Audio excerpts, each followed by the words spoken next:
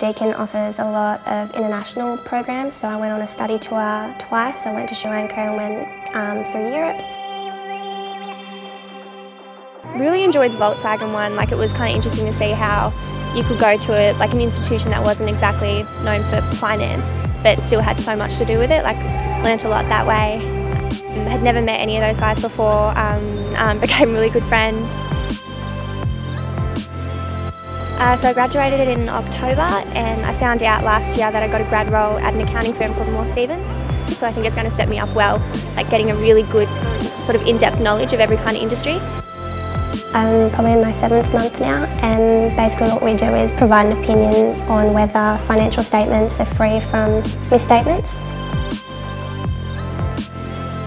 Really like where I'm at at the minute. I like coming into the city every day. I like dressing up for it. I really enjoy the people I work with. They're really nice people. It's a great culture.